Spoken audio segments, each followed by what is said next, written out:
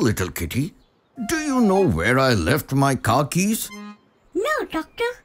Gosh, why can't I seem to remember it? Wait a minute. Actually, the real question is, why do we forget things in the first place? Hey friends, I'm sure just like me, we all tend to forget things every now and then. So, in today's episode, let's sharpen our brain and answer an unforgettable question. That is, why do we forget? Zoom in! Hey friends, remember that fun birthday party of your bestie you attended last year? Do you? Great! Now, try to remember the outfit you wore five days ago. Hmm, I'm sure most of you might find it challenging to remember the outfit and have forgotten about it. But why? Why do we tend to forget certain things so easily? To know why do we forget, first, we need to learn about our memories that are a part of your complex and multi-talented brain. When you undertake certain activities, for example, reading a new book, your brain gets active and converts that information into a pulse of electric energy that travels through the network of neurons to the short-term memory area where it is stored for hardly a couple of minutes.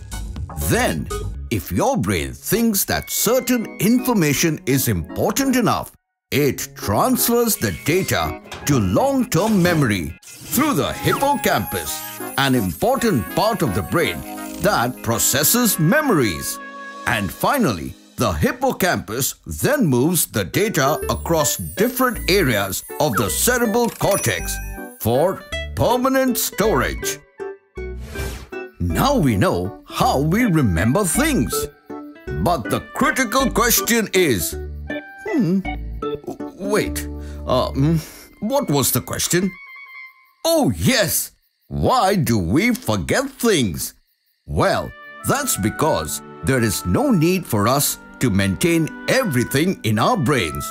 Yes, my friends, short-term memory has a fairly limited capacity it can hold about 7 items for no more than 20 to 30 seconds at a time. So, whatever information our brain perceives as less important is eradicated from its system, saving it from getting overloaded. And the information that is very important for us is eventually transferred from the short-term area of our memory to the long-term part that has unlimited capacity to store where it stays for a longer period. Remember friends, it's absolutely normal to occasionally forget things, like the name of someone you just met or where you left your phones.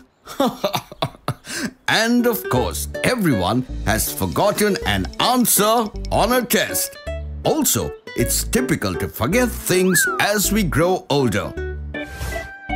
But if you find yourself forgetting things every now and then, there are several steps you can take to keep your brain healthy and retain your memories. Just try to stay physically active by exercise or playing. Also, do not forget to eat healthy food as your brain needs the right nutrients to keep working effectively. And finally, give your mind a good workout session by solving puzzles, learning new languages, and exposing it to new challenges to keep your memories intact till infinity and beyond. Trivia time! Did you know certain memory problems could be severe? Yes, such as when a person has Alzheimer's disease. In this disease, deposits build up and nerve cells stop working, leading to memory loss. Also, other reasons such as chronic stress, depression, isolation can also affect our ability to store short-term memories. Now let us test your memory in our next session we call It's Question Time. So friends, today's question is Which important part of the brain processes the memories? Do write your answer in the comments section below and hit the like and subscribe button if you haven't yet to be a part of the Peekaboo Kidz cutesy Butesy family and get a chance to get it featured by the end of our videos. So, here are the winners of the previous episode. Hope you enjoyed today's episode. Until next time, it's me, Dr. Binocs. Uh, what was that word? Zooming out! Oh, yes, I forgot. Ah, never mind. Hey kids, you liked my videos, didn't you?